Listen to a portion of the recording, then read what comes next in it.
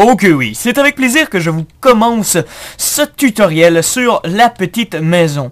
Donc il y en a dans les commentaires qui m'ont dit qu'elle était pas si petite, mais pour ce qu'elle fait, vous avouerez que chacun des systèmes est assez compact. En fait, c'est ça le but objectif de ce vidéo, c'était vraiment de vous montrer euh, certains systèmes extrêmement compacts en redstone qui soient faciles à faire, puis peu coûteux. Donc en fait, c'est que n'importe quand, si vous avez un petit espace et vous voulez un petit peu automatiser votre maison, eh bien c'est rempli de petits trucs, petites astuces intéressantes pour créer et pour rendre votre maison plus animée, plus, euh, plus pleine de redstone. Donc, on aime ça. On va tout de suite commencer notre tutoriel par l'extérieur. Donc, vous l'avez vu, on a des lampadaires qui réagissent euh, selon si c'est la nuit ou euh, le jour. Donc on va aller voir tout de suite comment ça fonctionne à l'instant. Donc on peut voir à quel point le système est ridiculeusement simple. En fait, c'est tout simplement délicieux. Donc vous avez besoin bien sûr d'un panneau solaire, euh, en fait d'un détecteur de jour et de nuit, qui va nous permettre de, de savoir extrêmement de façon compacte, savoir si c'est le jour ou la nuit. Et on va tout simplement le relier à un inverseur, puis notre output, c'est-à-dire notre redstone lamp. Si c'est la noirceur totale, ce qui va arriver, c'est que notre, euh, juste ici, notre daylight sensor va tout simplement arrêter d'envoyer un courant de redstone, parce que lorsque la, la nuit est complète, notre daylight sensor n'envoie plus aucunement d'un courant de redstone, donc on va le voir juste ici.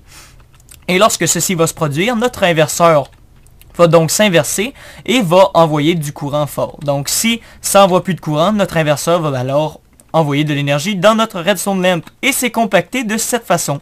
Donc on va le construire ensemble, le lampadaire officiel, en plaçant des murs de cobblestone pour par la suite placer un bloc de travers.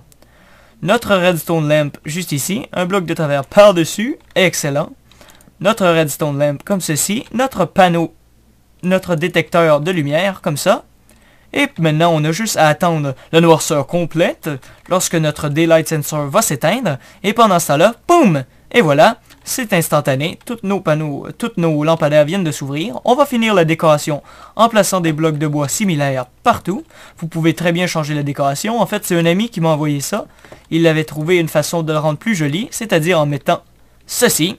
Et voilà, vous venez d'avoir un lampadaire de redstone. L'avantage, c'est que la plupart du temps, si vous avez un lampadaire de redstone qui est contrôlé euh, par un daylight sensor, eh bien, il va tout le temps être dans le sol pour pouvoir, pour permettre de cacher les circuits.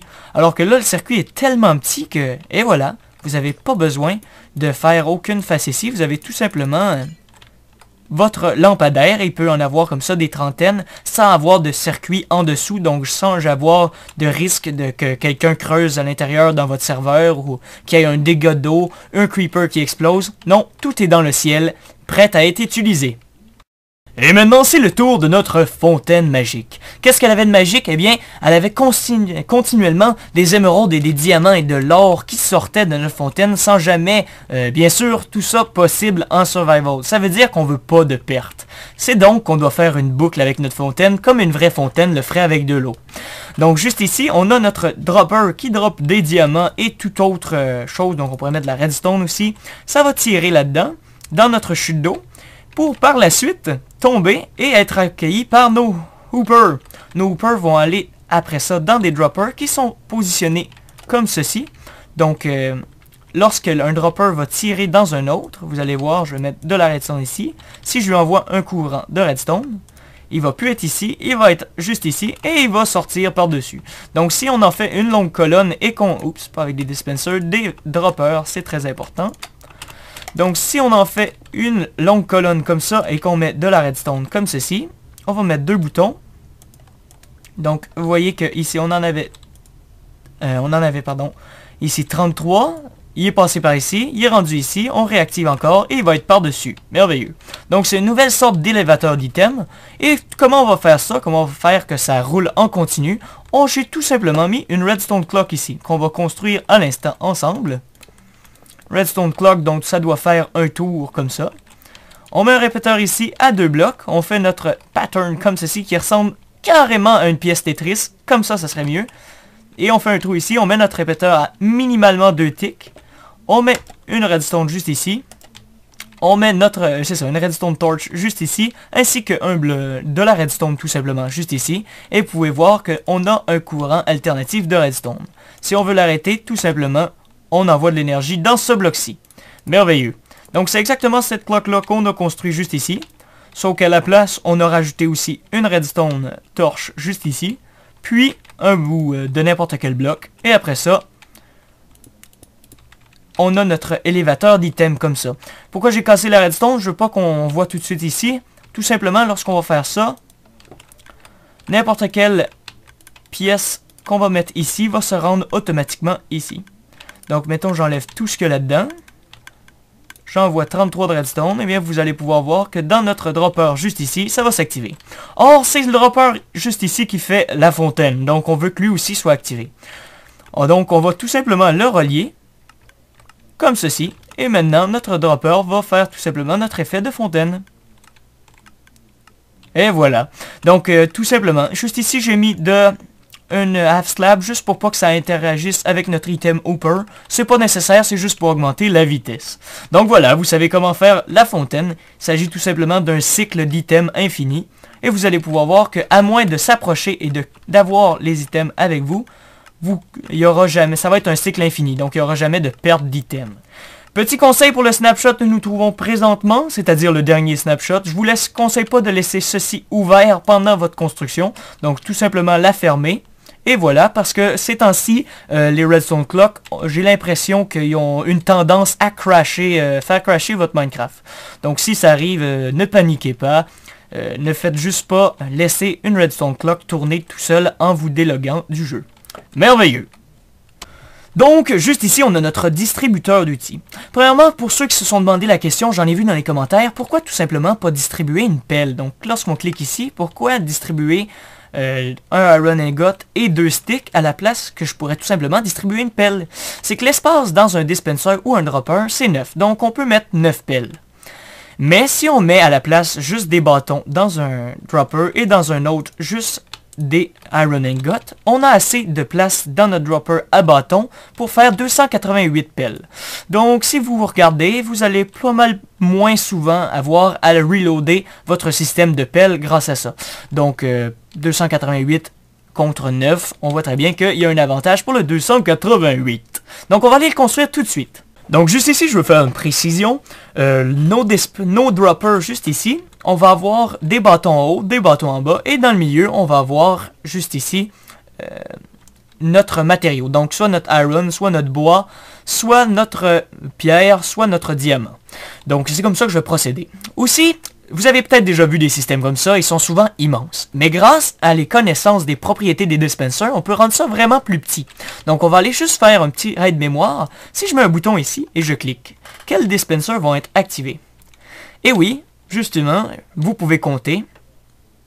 Et la réponse est 5. Donc tous ceux-ci, 1, 2, 3, 4, 5, vont être activés par la redstone. Pourquoi? Eh bien on peut le voir, lorsqu'on active un bouton, ça va activer celui-ci, notre bloc par-dessus, notre bloc sur le côté, notre bloc sur le côté, notre bloc sur le côté, et notre bloc de l'autre côté aussi, et donc celui-ci principalement. Donc euh, si vous m'avez suivi sur les propriétés, sinon je vous conseille mon tutoriel sur la redstone de base, c'est expliqué dans ce tutoriel. Mais ah, merci pour le jour. Donc lorsque je vais cliquer ici, on va avoir, si on suit à notre design ici, deux bâtons et trois fers. Merveilleux. Donc en cliquant ici, on peut avoir une hache ou une pioche. Super. Et on va utiliser ce design-là pour tout simplement créer ceci. Merveilleux. Si on clique sur le bouton ici, qu'est-ce qui va se passer? Eh bien, on a notre triangle qui est activé, donc notre, notre croix. Donc, euh, fer, fer, donc on a trois fers, puis deux bâtons. Merveilleux. Donc ici, on a ce qui est pour tout ce qui est pioche et euh, hache. Donc juste ici, on va le mettre, on va l'indiquer. Juste ici, euh, je vais mettre une hache pour faire changement. Et voilà. Donc on a, si on pèse sur le bouton là, on a notre hache. Merveilleux. Et si on pèse sur lui, donc ça va affecter notre croix. Ici, ça affecte rien, c'est juste un bloc de bois. Ici, ça affecte rien, c'est un bloc vide. Donc ça va dispenser un, bâton, bien, et deux bouts de fer, donc celui-ci et celui-là. Bien, donc, on a dans notre distributeur d'épée. Super! Merveilleux. Et maintenant, on a lui. Ça distribue deux bâtons et le bloc juste ici, parce qu'ici, c'est un vide, donc il n'y a rien.